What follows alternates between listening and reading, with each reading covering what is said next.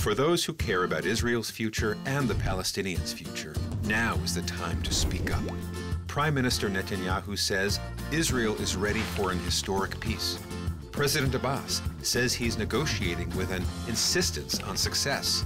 Secretary Kerry says we're closer to peace than we've been in years. Many others agree.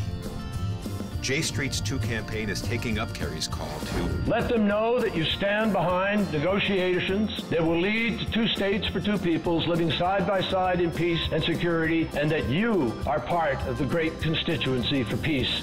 In town halls across the U.S., leaders, activists, and prominent Israelis are coming together to show that, like the majority of Israelis and Palestinians, the majority of pro Israel Americans wants a two state solution.